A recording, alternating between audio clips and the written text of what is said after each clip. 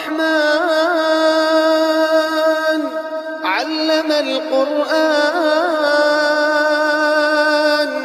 خلق الإنسان.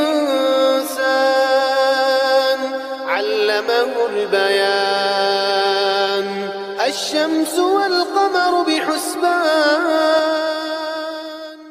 وعليكم السلام ورحمة الله وبركاته. الحمد لله الذي خلق الإنسان وعلمه البيان وأنزل الفرقان وجعله هدى للناس والصلاة والسلام على من عبد ربه بطاعة أوامره واجتناب نواهيه. أما بعد فأعوذ بالله من الشيطان الرجيم. بسم الله الرحمن الرحيم. إن الصلاة كانت على المؤمنين كتابا موقوتا India থেকে একদিনই ভাই প্রশ্ন করেছেন যে কোনো ইমাম যদি সলাতের মধ্যে সূরা ফাতিহা ব্যতিরিকে অন্যান্য সূরা ভুল করে সেই কেরাত ভুল করে তাহলে সেক্ষেত্রে সলাৎ শুদ্ধ হবে কিনা বা সলাতের কি কোনো ক্ষতি হবে এ বিষয়ে বিস্তারিত দলিল সহকারে জানালে উপকৃত হতাম ভাই আপনি খুব সুন্দর প্রশ্ন করেছেন দেখুন, এবং আপনি এই কথা এটাও প্রশ্ন করেছেন যে সে অবস্থায় ইমামের করণীয় কি ও মুক্তাদিদের করণীয় কি? ভাই, দেখুন, কোনো ইমাম যদি সুরা ফাতিহা ঠিকঠাক পড়ে, তারপরে অন্য সুরার সময় তিনি পড়তে পড়তে আটকে যান, তাহলে মুক্তাদিদের কর্তব্য হবে যে ধরিয়ে দেওয়া, লুকমা দিয়ে ধরিয়ে দেওয়া। তো মুক্তাদিরা ধরিয়ে দেবেন, তারপরে ইমাম পড়বেন। যদি তার সম্ভব না হয়, ইমামের মনে না পড়ে ওনার যদি তিন আয়াতের বেশি হয়ে যায় বা একটা এত বড় আয়াত হয় যে একটা ছোট্ট সূরার সম- সমপরিমাণ, তাহলে সেখানেই রুকুতে চলে গেলেও যথেষ্ট হবে। তাছাড়া উনি যদি ইচ্ছা করেন যে অন্য কোনো সহজ সূরা পড়তে পারেন হ্যাঁ কেননা স্পষ্টভাবে হাদিস থেকে প্রমাণিত আছে যে বিশ্বনবী সাল্লাল্লাহু আলী ওয়াসাল্লাম তিনি বলেছেন কোরআনের একটি আয়াতকে পাঠ করে যে, ফকরাউ মা তায়াসসারা মিনাল কোরআন। এই আয়াতটি রয়েছে পবিত্র গ্রন্থ আল কোরআন, তিয়াত্তর নম্বর সুরা এবং কুড়ি নম্বর আয়াতে। আল্লাহ রব্বুল আলমিন বলেছেন, ফাকরাউ মা তায়াসসারা মিনাল কোরআন। এবং আল্লাহ রসুল সাল্লাম এই কথাটি বলেছেন, এটা উল্লেখ রয়েছে হাদিসের গ্রন্থ মিসকাত সাতশো নব্বই নম্বর হাদিস।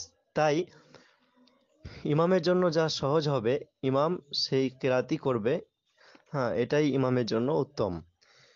যদি ইমাম ভুলে যান আর মুক্তাদিদের স্মরণ করিয়ে দেওয়ার পরও তিনি মনে করতে না পারেন, তো সেক্ষেত্রে নামাজের কোনো ক্ষতি হবে না। কেননা এর দলিল স্পষ্ট, সহি বুখারি ও সহি মুসলিমের হাদিস থেকে প্রমাণিত। যেমন সহি বুখারি হাদিস নাম্বার সাতশো বাহাত্তর এবং সহি মুসলিম হাদিস নাম্বার তিনশো ছিয়ানব্বই। এখানে উল্লেখ রয়েছে হজরত আবু হুরায়রা রাজি আল্লাহ আনহু তিনি বলেন, প্রত্যেক নামাজেই কেরাত আছে।